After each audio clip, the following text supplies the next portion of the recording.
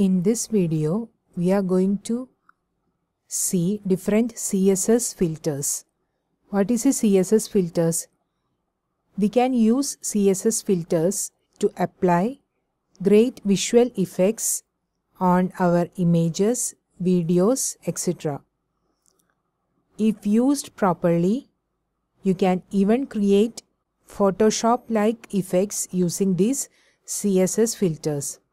We are going to see 10 different CSS filters and we will have a look at each of these filters and see how an image can be changed or edited using these filters. It is very simple to use these CSS filters. You just need to specify filter that is the name of the CSS property and we have to specify whatever filter we need to apply whether it is blur, hue rotate, drop shadow, saturate, contrast, grayscale, sepia, invert, opacity or brightness. So first we need to have some images to edit. So I have created a basic HTML5 document. Let me change the title to image editor. Next what we need? We need to have one or two images to see how it works. So let me add an image here img src equals I have downloaded the image of some flowers. So flowers dot jpg I'm closing it. Okay now let's see how it appears. This is the image I have downloaded we can keep this image on this right hand side again so that we will be able to see the difference clearly. Otherwise we will not see the original image. We will be getting only the changed image or the edited image. So let's copy this once again. Let me add a break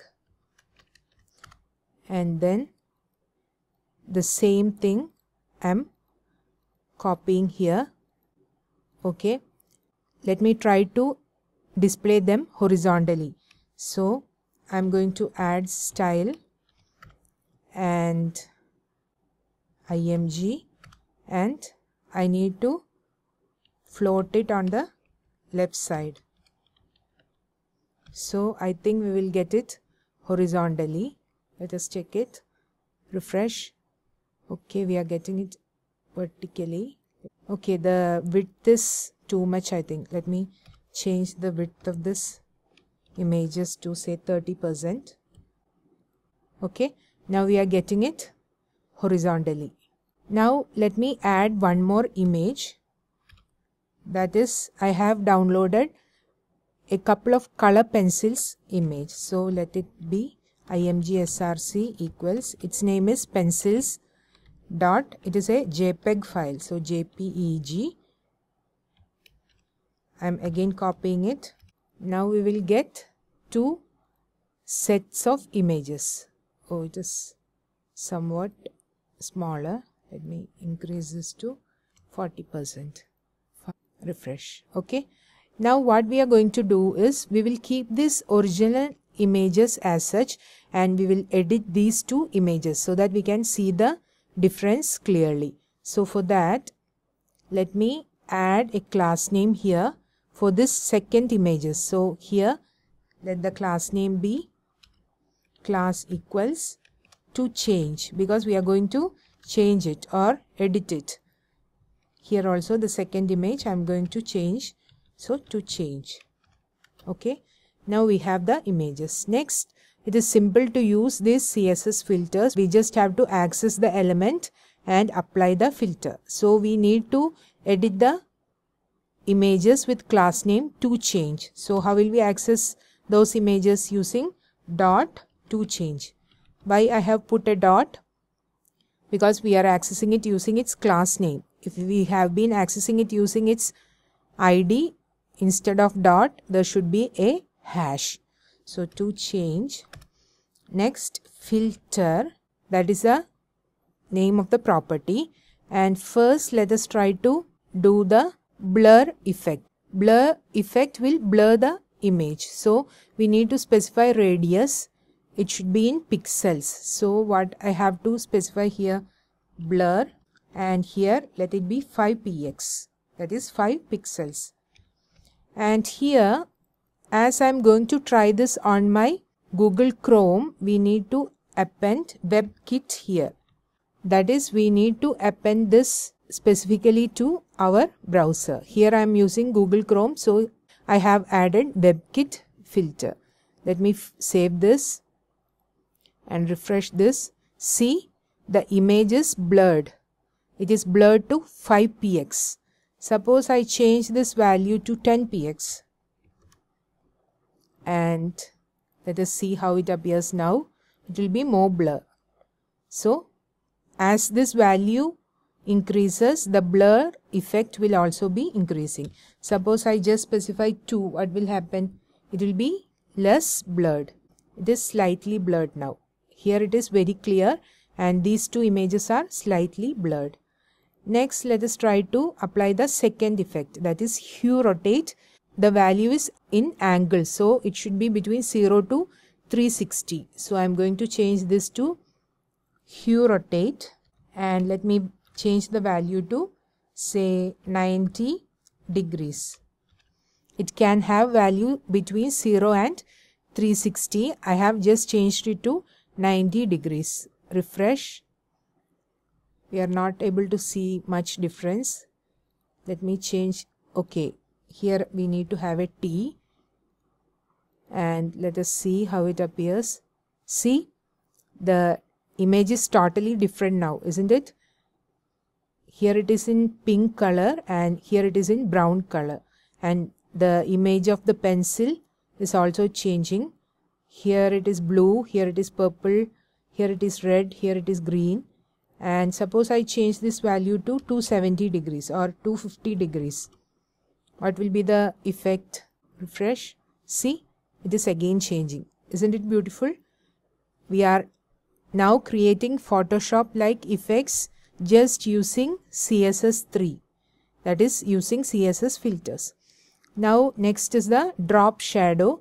It is exactly the same as box shadow. Suppose I apply drop shadow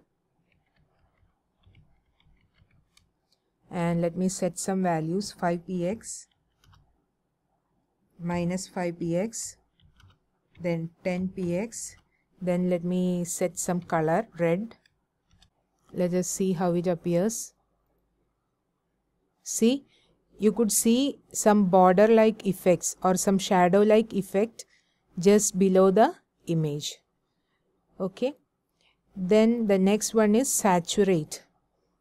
It can have value over 100% actually. So let us try to apply say 75% saturate 75% let us see how the images now appear.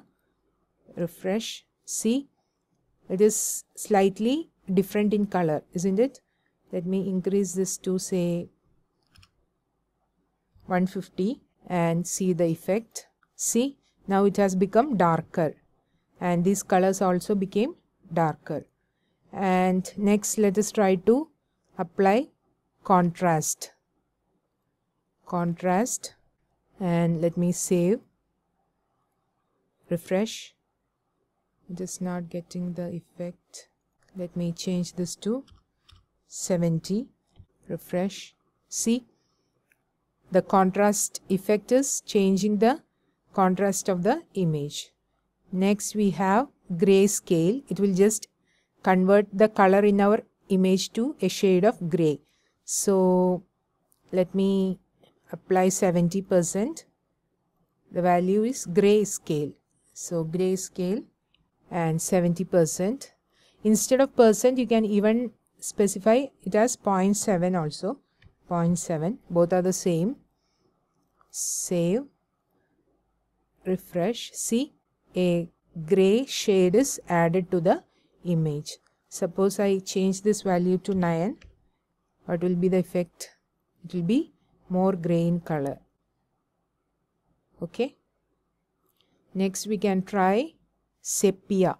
It will give the appearance of some old photographs that is black and white like effect. Let us see how it appears. Sepia. It can have value between 0 and 1 or 0% and 100%. So this effect is sepia. Refresh. See, it's getting some yellowish shade. And if I change this value to say 0.3 refresh. See the effect is different. Like this we can apply each and every one invert. Let us next try invert file save refresh. See the effect is different we can apply each of these styles css filters now the happy thing is that we can actually apply two or three or more CSS filters together. That is, suppose I want to add this style as well, hue rotate as well. Hue rotate. Let me make it 95 DEG. So what will now happen? It will first apply this filter that is invert 0.3 and then it will rotate this to 95 DEG. Refresh. See it is now a different effect. Suppose I change this order. I am making this after this one. And saving this. So now we are applying the same effects but in different order. See this is the image now. Let me refresh. You are getting a slightly different output. Suppose I change this to 4 or 7 and see. See, we are getting something different. So like this, we can try a number of combinations of these effects, not only individually, but also as a combination of different effects. So like this, we have done this on an image. We can actually do it on videos also. So we can apply really wonderful visual effects just using CSS3. We haven't used Photoshop in this tutorial. We have just used CSS3 to create wonderful visual effects. Next, we are going to create an online image editor using these CSS filters in another video.